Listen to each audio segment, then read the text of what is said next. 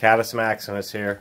Just going to do a quick look inside the Harbor Freight Zurich ZR13 uh, premium scan tool. Pretty easy to get inside one of these. You just got to pull off the data cable. Get the batteries out using a number two, or excuse me, a number one Phillips. Three double A's in this case.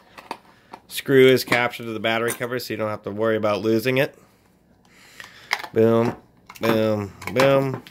There is a brass insert for the battery cover so it doesn't strip out as easily. This is what I was talking about earlier. There's only four screws holding together the case.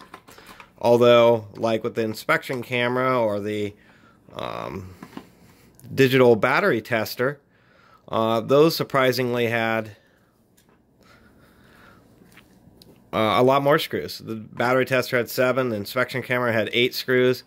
Uh, so and they're both were quite a bit cheaper than this item. Um, but this you're paying for software. It's basically what you're paying for. There's the four little screws. It actually comes off on the top side. These battery terminals inside here, we'll zoom in a little bit, just so you know. These have like a little post sticking off the bottom.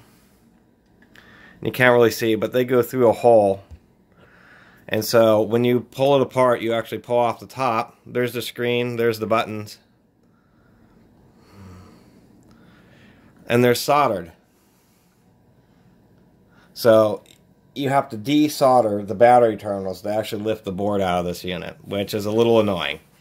The one thing I really wanted to open up this open this up for is it's just going to be a chip um, and some supporting components is one, you know, so you can have a look at the actual part number inside the board.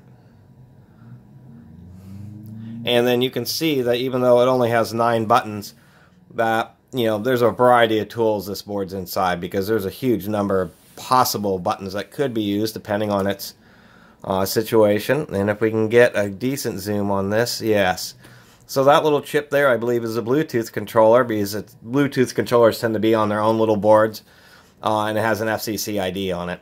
So this tool may physically be capable of Bluetooth, but of course Harbor Freight has, you know, it doesn't have that ability built in.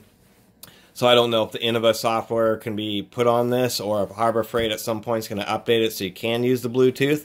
Or maybe I'm incorrect and this is something with the battery reset capabilities of the tool.